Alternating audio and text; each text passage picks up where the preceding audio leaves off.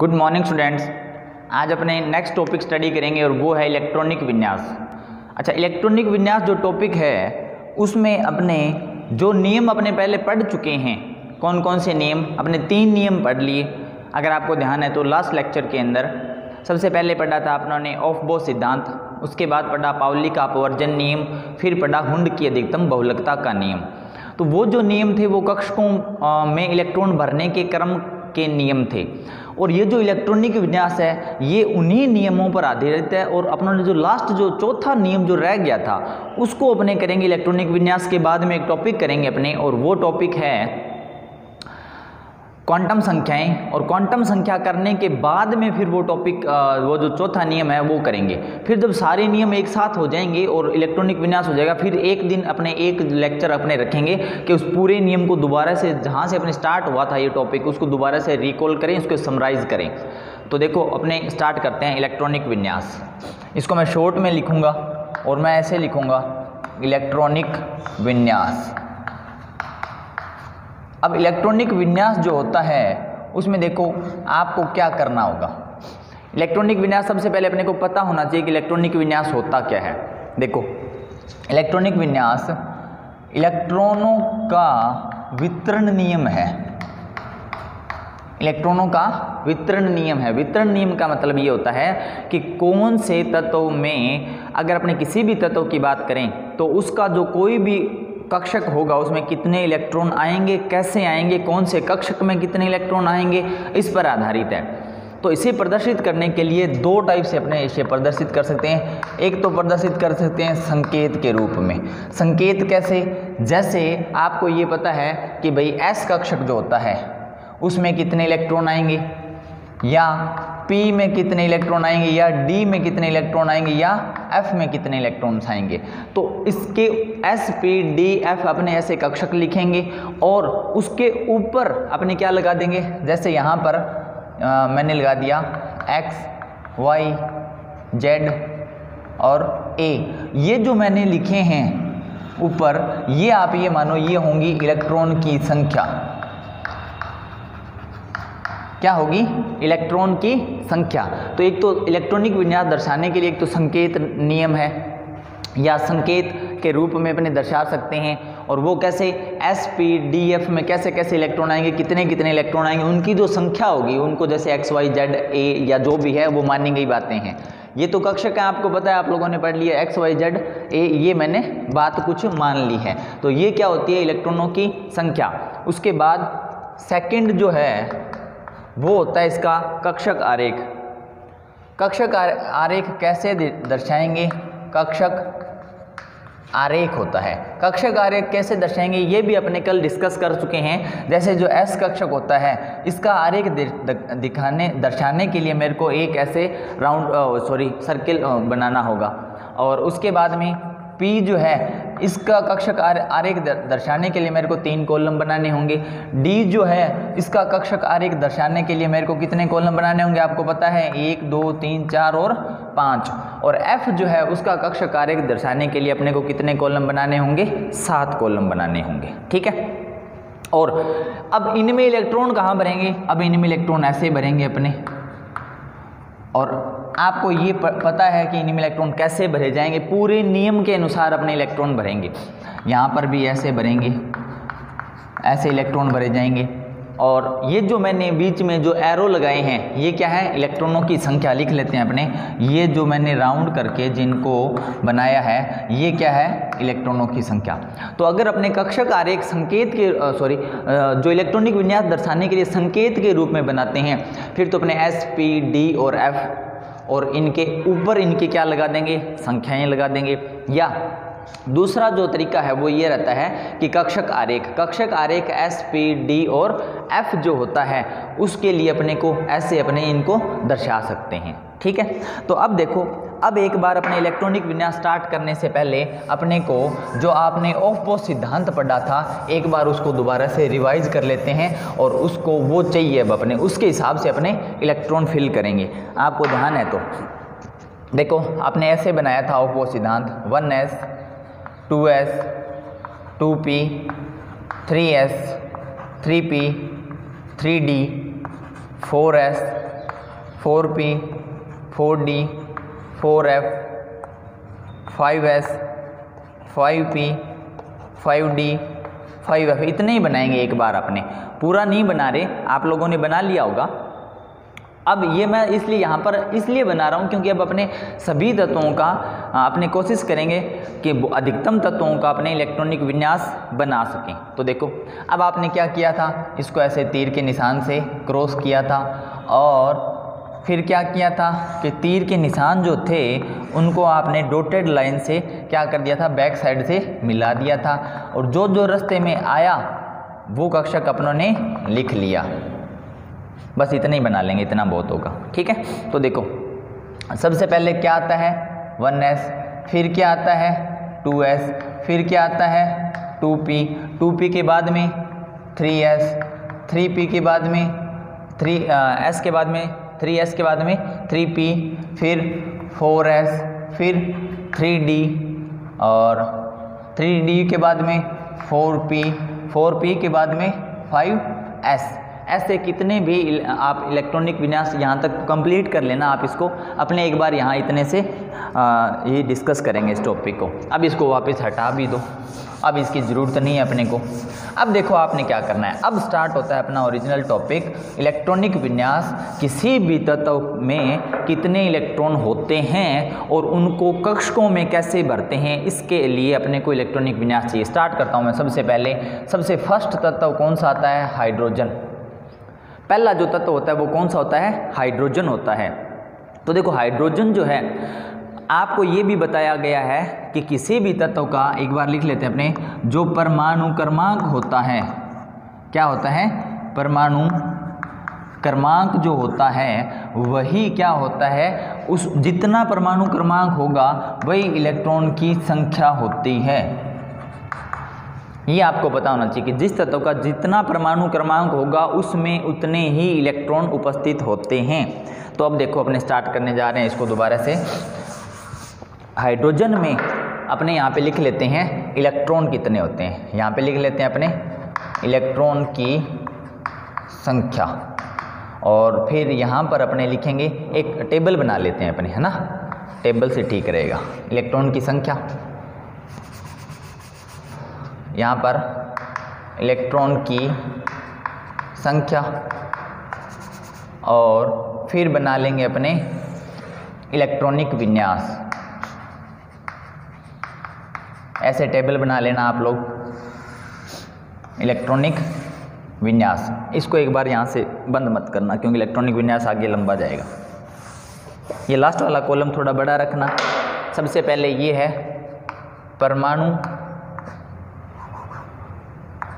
कौन सा होता है? सबसे पहले स्टार्ट करते हैं अपने। सबसे फ़र्स्ट परमाणु है, वो है हाइड्रोजन हाइड्रोजन में इलेक्ट्रॉन की संख्या होती है एक। तो इसमें सबसे पहले इलेक्ट्रॉन भरेंगे इसमें। पहला इलेक्ट्रॉन किसके अंदर भरा जाएगा? ये क्रम याद रखना है आपने। ये याद होता है, बहुत अच्छी बात है। नहीं याद होता तो अपनों ने जैसे बनाया था, वैसे ऑर्डर से आप उस चार्ट से आप बना लेना। तो फिर मैंने लिखा वन एस क्या लिखा? वन एस इलेक्ट्रॉन कितने हैं? एक अपने संकेत वाले रूप में दर्शा रहे हैं इसको। तो वन एस में कितने इलेक्ट्रॉन आ गए एक। और अधिकतम इलेक्ट्रॉन कितने आते हैं? एस में अधिकतम इलेक्ट्रॉन दो आते हैं पी में अधिकतम इलेक्ट्रॉन छः आते हैं और डी में अधिकतम इलेक्ट्रॉन दस आते हैं और एफ़ में अधिकतम इलेक्ट्रॉन कितने आते हैं? चौदह आते हैं। आगे देखो। उसके बाद दूसरा तत्व होता है एच ई एच ई जो उसका परमाणु क्रमांक है, वही उतने ही उसमें क्या होते हैं? इलेक्ट्रॉन की संख्या होती है। तो देखो, इलेक्ट्रॉन की संख्या होती है। जितना परमाणु क्रमांक होगा, जिसका उतना ही उसमें क्या होगा? इलेक्ट्रॉन की संख्या। तो अब वन एस, कक्षक यही चल रहा है। पहले इसको पूरा करेंगे। वन एस में कितने आगे? दो। अब आगे वाला जो अपने तत्व लिखेंगे, कौन सा तत्व? H H E L I hydrogen helium lithium lithium में इलेक्ट्रॉन कितने होते हैं? तीन। कितने इलेक्ट्रॉन होते हैं? सॉरी तीन। तो देखो, ये कोष्ठ कक्षक जो है, वो पूरा भर गया। अब अपने आगे वाले इलेक्ट्रॉन किसमें भरेंगे? इसमें भरेंगे कंटिन्यू भरना है। कैसे भरेंगे?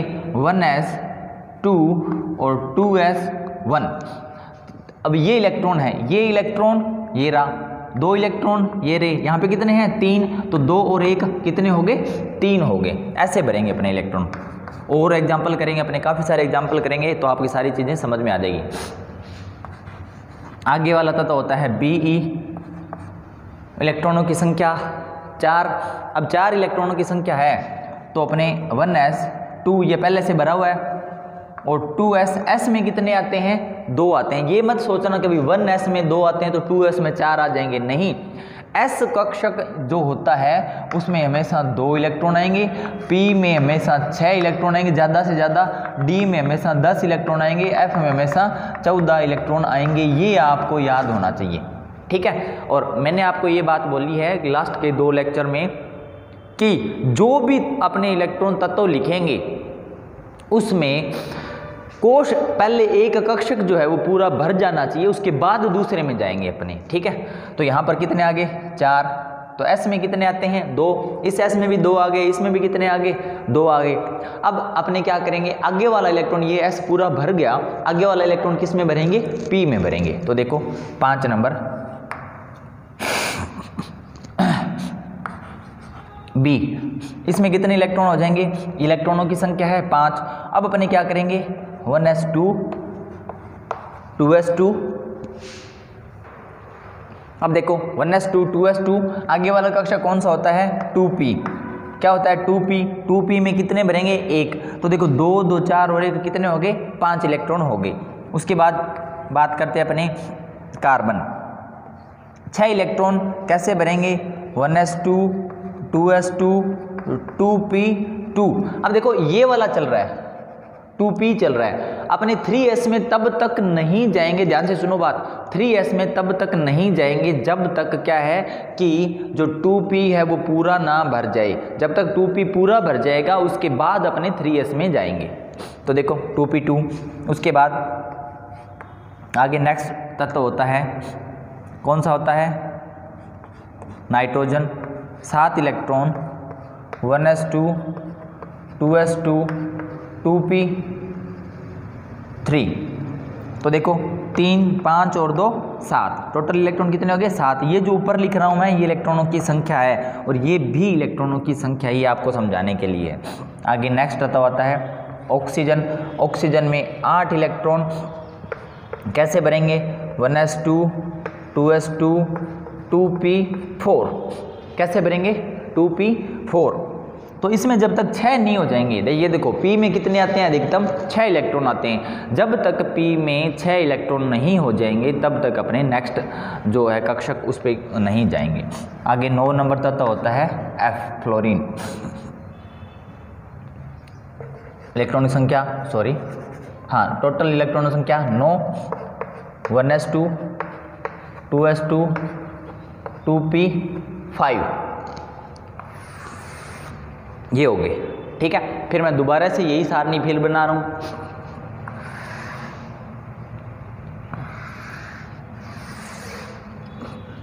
यहाँ पर परमाणु, यहाँ पर इलेक्ट्रॉन यहाँ पर इलेक्ट्रॉनिक विन्यास। नो दस नंबर तत्व कौन सा होता है? नियोन नियोन 10 नंबर तत्व है तो 10 इलेक्ट्रॉन है। 10 इलेक्ट्रॉनों को कैसे भरेंगे? 1s2 2s2 2p 6 कितने भर दिया? P के अंदर कितने आगे छः कंटिन्यू चल रहा है, देखो। P1 P2 P3 P4 P5 और P6 अब टोटल इलेक्ट्रॉन कितने हो गए? दो, चार सॉरी छः और दो, आठ और दो, दस हो गए। अब ग्यारह नंबर तत्व आता है सोडियम। ग्यारह नंबर तत्व तो कौन सा आता है? सोडियम आता है। उसमें अपने क्या करेंगे? देखो, इलेक्ट्रॉन कितने हैं? ग्यारह। कितने इलेक्ट्रॉन हैं? ग्यारह। तो ग्यारह इलेक्ट्रॉनों को अपने कैसे भरेंगे? देखो, ग्यारह इलेक्ट्रॉनों को भरने के लिए अपने को ये कक्षक भर दिया, ये भी भर दिया, टू पी तक भर दिया। अब आगे वाले में देखिए पी में कितने आगे आने चाहिए? टोटल छः आते हैं।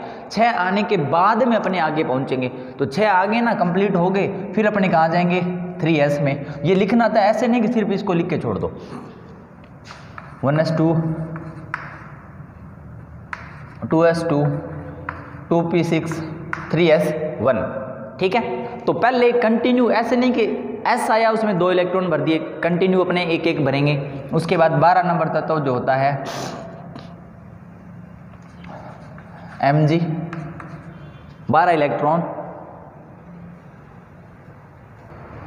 अब जब बारह इलेक्ट्रॉन कैसे भरेंगे देखो one S two two S two two P six three S में एक आ गया, पूरा भर दो। एस में कितने आते हैं? चाहे एस जो है वो three S or four S or five S or six S उससे कोई मतलब नहीं होता। एस में हमेशा ही दो आएँगे। अधिकतम। आगे तेरवा एल्यूमिनियम तेरह इलेक्ट्रॉन अब देखो, वापिस आओ। वन एस पूरा भर गया, दो आ अधिकतम। टू एस भी पूरा फिल कर दिया अपन ने, इसमें भी दो आ टू पी में अधिकतम कितने आते हैं? छः या पी में अधिकतम छः आते हैं तो पूरा भर गया। अब अपने चलेंगे आगे एस पे। एस पे वापस आ जाओ। एस पे अधिकतम कितने इलेक्ट्रॉन आते हैं? दो आते हैं तो ये भी पूरा भर गया। अब थ्री एस के बाद में क्या आएगा? थ्री पी अब अपने थ्री पी को भरना स्टार्ट करेंगे। One S two two S two two P six three S two three P one, electron जोड़ लिया करो, ताकि आपको पता चल जाएगा कि इलेक्ट्रॉन पूरे हैं या नहीं हैं। दो, चार छः दस तो बारह और एक, तेरह, ये इलेक्ट्रॉनों की संख्या तो है। आगे, आपको तत्व भी याद करने जब आप तत्व याद करोगे सारे सारे मतलब अधिकतम, तभी इलेक्ट्रॉनिक विन्यास हो पाएगा, वरना याद नहीं हो पाएगा। देखो, आगे आता है एस आई और इसमें चौदह इलेक्ट्रॉन। चौदह इलेक्ट्रॉन कैसे बनेंगे? पी में एक आ गया, अब आगे बढ़ते जाओ।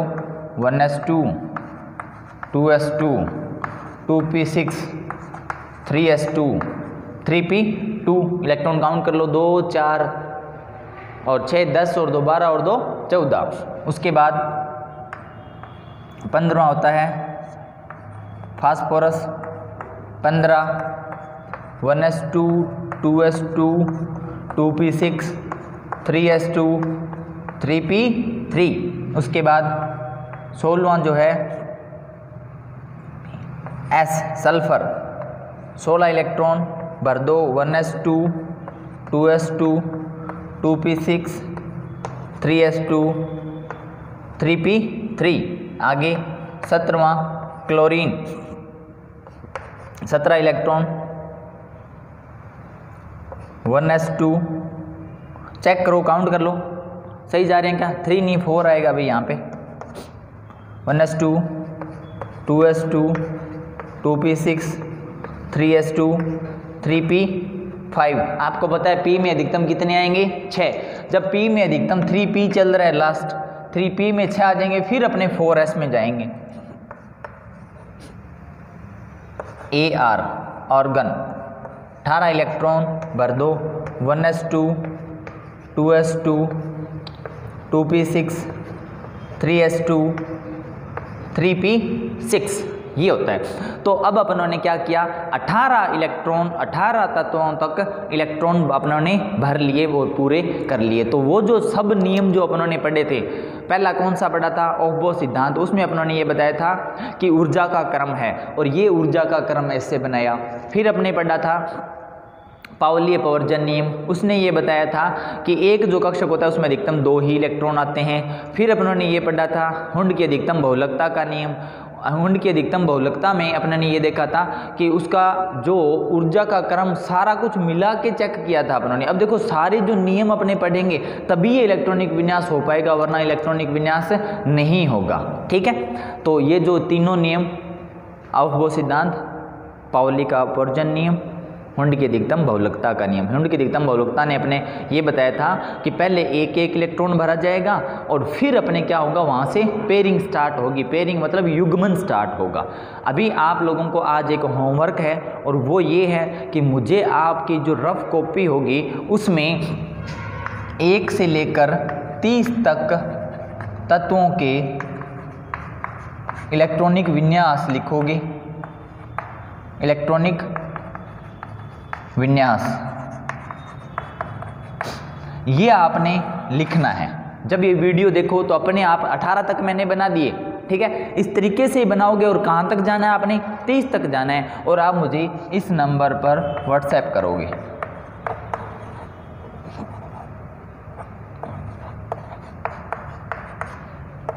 ये जो नंबर आपको दिखाई दे रहा है, इस नंबर पर आप मुझे व्हाट्सएप करोगे, तब मेरे को लगेगा कि आप लोग पढ़ रहे हो। अगर कोई समस्या है तो आप यहाँ भी पूछ सकते हो इस पर टेक्स्ट करके मैसेज करके, ठीक है? आज के लिए बस इतना ही। नेक्स्ट लेक्चर में अपने नेक्स्ट टॉपिक डिस्कस करेंगे।